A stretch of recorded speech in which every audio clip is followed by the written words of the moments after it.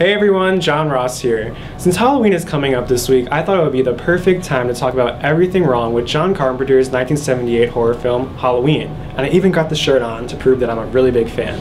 Even though this is considered one of the best horror films of all time, there's a lot of things in it that don't make any sense. First off, how has the Myers house been abandoned for 15 years in this swanky ass little suburb? Every other house on the street has freshly cut grass, perfectly painted shutters, it's the end of October and there's not a damn leaf on the ground. We all know a busted old house like this in a fancy neighborhood would be featured on Flip or Flop on HGTV in no time. There's also the fact that murderer Michael Myers walks around in broad daylight without ever getting caught. It almost makes no sense, but then you remember that white privilege does exist. Also, why are these children being forced to sit inside with their babysitters on Halloween night? I mean, what kind of parents do that? Imagine you're 10 years old, your parents ditch you on Halloween and make you stay home with your extremely sexually active babysitter, and then some crazy guy comes to murder you. I would be pretty pissed off.